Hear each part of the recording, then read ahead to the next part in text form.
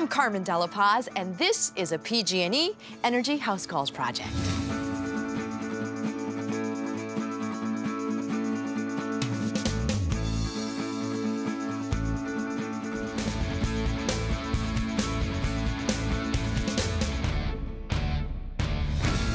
Insulating hot water pipes is an easy and cost-effective way to help lower your energy usage. Look for foam pipe sleeves with an efficiency rating of R4.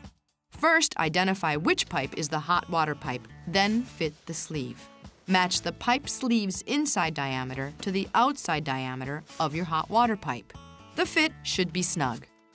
Take great care while cutting. Safety first. Continue to wrap all accessible hot water pipes, especially if they're within 3 feet of your water heater. Insulated hot water pipes deliver hot water to your shower head faster.